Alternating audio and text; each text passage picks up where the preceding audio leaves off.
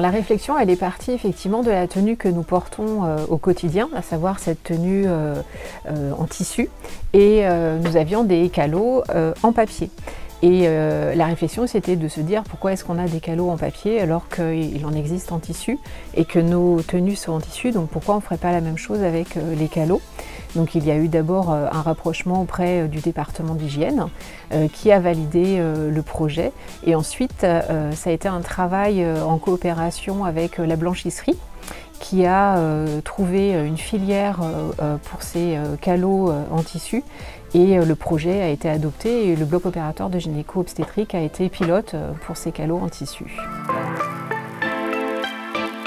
Ça va nous permettre d'éliminer des déchets à savoir que les calots en papier, ces calots, on les a eus en 2021 et euh, sur ces deux années, bah, c'est quand même 10 000 calots en papier en moins, euh, donc 10 000 unités de déchets euh, en moins.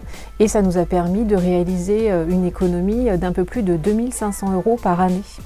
Quand on, déduit le coût des calots en papier, en déduisant le coût d'achat de ces calots en tissu, on est largement positif en fin d'année. Les équipes, elles ont euh, très très bien accueilli euh, le projet. Euh, parce qu'en plus on a eu le choix des coloris, des motifs, des calots. On a rencontré la personne qui les confectionne parce qu'ils ne viennent pas de très très loin. Ils viennent de Nîmes et ils sont réalisés par une infirmière de bloc opératoire. Donc on est vraiment dans du loco local et les soignants ils sont ravis d'avoir ces calots. On a même eu des retours des patientes qui les trouvent bah, très sympathiques. Et euh, donc euh, ça a été euh, un point positif de bout en bout et une bonne adhésion en tout cas des équipes sur ce projet. La première, ça a été d'étendre cette démarche à l'ensemble des blocs opératoires.